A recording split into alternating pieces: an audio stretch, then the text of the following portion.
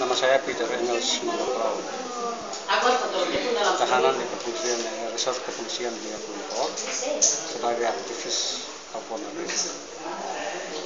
Jadi dalam rangka penahanan ini saya anggap bahwa apa resort kepolisian di Kulon tidak profesional dalam bertindak pidana maka saya harapkan ke internasional untuk menginjak pernah terjadi di tahun 61 yang kemarin sudah direvisi atau kembali Papua sudah ada lupa maka saya harapkan bahwa dunia internasional harus menjadi melihat itu berdasarkan perjanjian tahun 1947 Dutch Commission Pacific Canberra bahwa negara-negara akan memberikan pemerintahan. Maka harapan saya bahwa di dunia internasional segera menyelesaikan persoalan ini.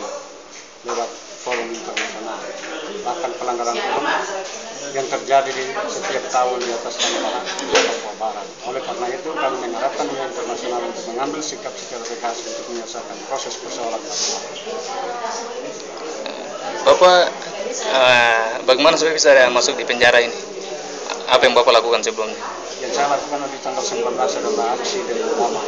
Demo damai itu pun kita menghargai hukumnya maka kita berpikir dalam suatu pemberitahuan ke polisi. Namun mereka seolah-olah melakukan tindak pidana dalam demokrasi.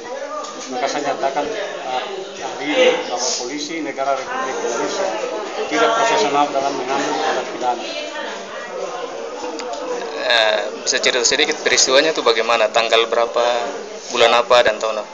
Penangkapan tanggal 19 Oktober jam 10 lewat 11 menit di depan kantor Dewan Adat Kandoran Soid. Tahun 2013. Tahun 2013. Nah, lalu mereka tuduh apa? Tuduh saya sih makar, tapi saya nyatakan makar dalam peringatan saya bahwa makar maka itu penipuan dusta belaka terhadap bangsa ini. Karena undang-undang Belanda peralihan yang digunakan oleh pihak pemerintah Indonesia untuk mengikat bangsa